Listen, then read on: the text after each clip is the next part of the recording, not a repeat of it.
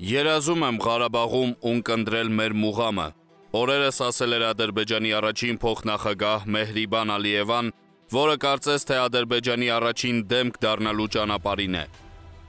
Մեհրիբան Ալիևայի գրառումը վրթովմունք էր առաջացրել հայկական կողմում, թեև արժե ուշադրություն դարձնել նրա արտահայտության տողատակերի վրա։ Փաստացի Մեհրիբան Ալիևան Ադրբեջանի ժողովրդին առաջարկում է երազել Ղարաբաղի մասին։ Տարբերությունը ամուսնու արդեն մոտ երկու տասնամյակի առաջարկի համեմատ զգալի է։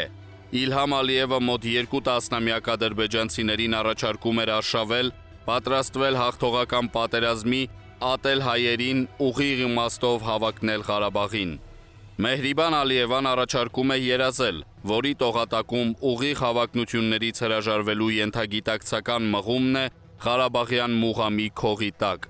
Երազելն ինչպես ասում են առողջությանը վնաս չէ, բայց այստեղ նաև բավական պրակտիկ իրողություն է, որովհետև ուղիղ հավակնությունը վնաս է թե ադրբեջանցիների, թե այդ երկրի իշխանության առողջությանը։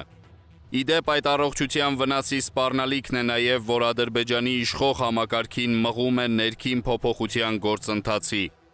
Արցախի հանդեպ հաղթողական հավակնության քաղաքականության ֆիասկոն եւ փակուղին է, որ Ադրբեջանին դրել է այդ քաղաքականությունից որևէ կերպ նահանջելու հրամայականի առաջ, պատին հերթական անգամ չբախվելու համար որովհետև իրադարձությունների զարգացման տրամաբանությունը խոսում է այն մասին, որ հայկական բանակի պատին հերթական անգամ բախվելու դեպքում Ադրբեջանին չի մնա լելեթեփեն, այլ հակառակը, Ադրբեջանից գուցե միայն լելեթեփե մնա։ Ըստ այդմ ռազմաքաղաքական իմաստով Ադրբեջանի համար առավել անվտանգ է դառնում երազել Ղարաբաղի մասին, ոչ թե հավակնել Արցախին։ Հավակնությունից երազանք տրանսֆորմացիան հնարավոր է իրականացնել միայն Մեհրիբան Ալիևայի միջոցով։ Բաքվի համար դա լինելու է չափազանց բարդ եւ երկարատև գործընթաց, որտեղ Մեհրիբան Ալիևային կպահանջվի հայկական օգնություն։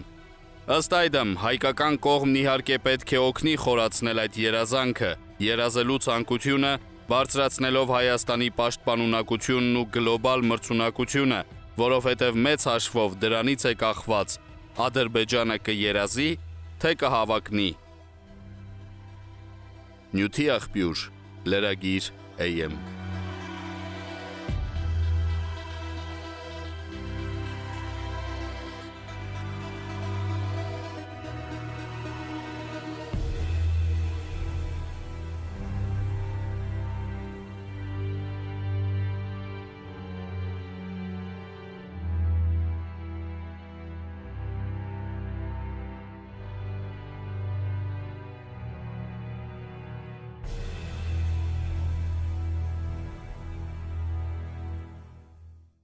Եվ կան շատ կարևոր հարցեր, որոնք վերաբերվում են միջավայրին, որի մեջ տեղի ունենում խաղաղ գործընթաց, խաղաղ կարգավորման գործընթացը։ Եվ բոլորը շատ մեծ նշանակություն ունեն իրենց ամբողջության մեջ, իրենց համապարփակության մեջ։ Այսօրվա դրությամբ դուք գիտեք մեր դիրքորոշումները, որոնք վերաբերվում են բուն կարգավորման մեջ մեր գերակայությունները կրկնեմ, որ դրանք մեկ կամ մեկ նախադասությամբ արտահայտվում են այն գերակայություններին առնչվում են այն գերակայություններին, որոնք վերաբերվում են Լեռնային Ղարաբաղի անվտանգությանը եւ Լեռնային Ղարաբաղի ստատուսին։ Եվ բնականաբար մենք շարունակել ենք փորձարկել մշակել այն ուրեմն մոտեցումները, համադրումները,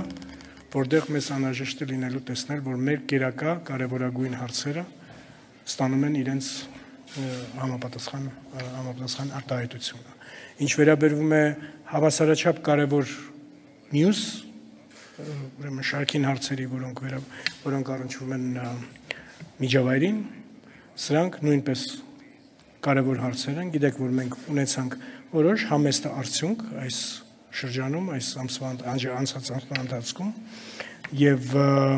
շարունակելու աշխատել այդ ուղությամբ իհարկե մեզ համար կարևոր է եւ հետաքրքրական է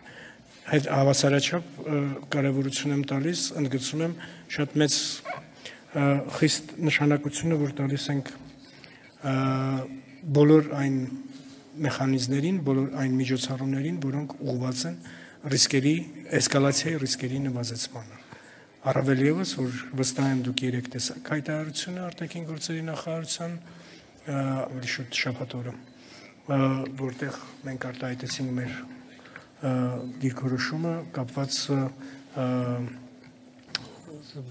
շփման գծում մեր կողմից վիրավորված զինվորի կապակցությամբ։ Սա մեզ համար բնականաբար այդ մեխանիզմների այդ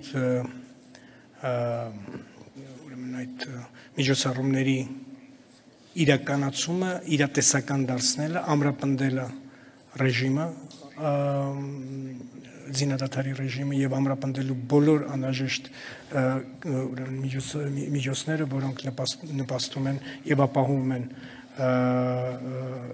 էսկալացիայի ռիսկերի նվազեցում, նույնպես հանդիսանում են չափազանց կարևոր հարց մեզ համար։ Ձեր երկրորդ հարցի կապակցությամբ իրեք մենք հավատարիմ ենք խաղաղ կարգավորմանը։ Մենք այս 1.5 տարվա ընթացքում իցույց դրեցինք մեր կարողությունները եւ մեր լրջությունը խաղաղ գործընթացի մեջ ներգրավելու եւ էֆեկտիվ եւ արդյունավետ աշխատելու սա այս հանդիպումը որ տեղի ունենալու չորեքշաբթի մենք աշխատել ենք դրա ուղղությամբ մենք գնում ենք մեր աշխատանքը կատարելու եւ մենք ունենք մեր գերակայությունները եւ աշխատելու ենք դրանց շուրջ ինչ վերաբերվում է ներքին զարգացումներին Ադրբեջանում, ես ձեզ կմնամ հիմա որևէ մեկնաբանություններից, մենք գնում ենք մեր աշխատանքը կատարելու։ Այս պահին երևի թե այդքան։ Շնորհակալություն։ Որևէ հակասություն մեր քաղաքականության մեջ չկա։ Շատ հստակ է մեր քաղաքականությունը։ Մենք ասել ենք, որ մենք պատրաստ ենք հարաբերությունների առանց նախապայմանների։ Բայց դա դրա համար երկու կողմ է պահանջվում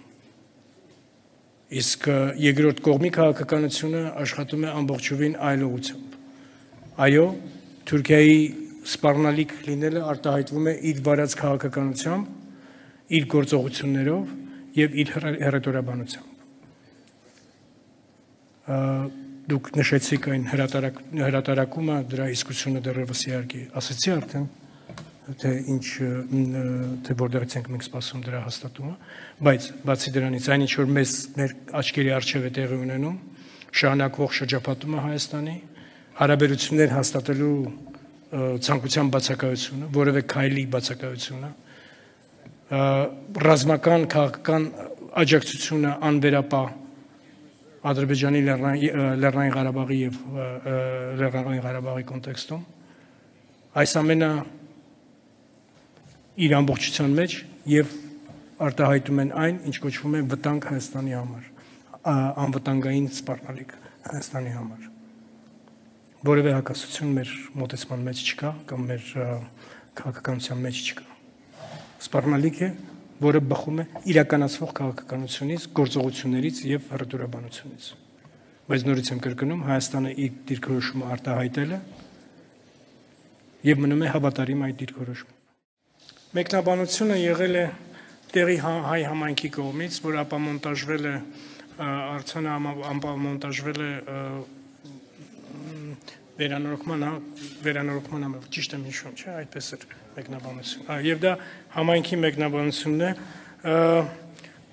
անկեղծ ասած դեռևս այս պահին գոնե երևում է որպես տարօրինակ պատմություն այս պահին որոշապով ավելի հավանաբար տեղեկատվության կարիք ունենք եւ այդ ուղղությամբ նույնպես մենք եւ մեր գործընկերները մեր դեսպանությունը Մոսկվայում աշխատում են բայց շատ կարեւոր է այստեղ ուղղակի պետք է ընդգծեմ որ որ եկեղեցին գործում դա եկեղեցու տարածքում է եւ իր սեփականության տարածքում է եւ եկեղեցին գործում է առանձին եւ եկեղեցին գիտեք եւ եկեղեցին եւ պետությունը միմյանցից տարանջատված են եւ այդ առումով ես ուղղակի որոշ շապով զգուշություն պետք է արձանագրեմ իմ մեկնաբանությունների մեջ եւ բնականաբար չի ցանկանա որ այս հարցը նաեւ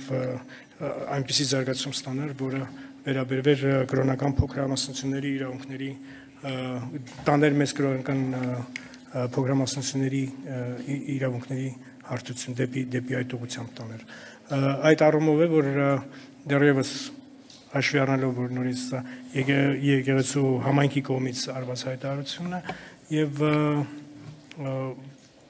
որոշ չափով նույն շարունակ, այսինքն տեղեկության լրացուցիչ տեղեկության կարիք ունենք եւ կշարունակենք այդ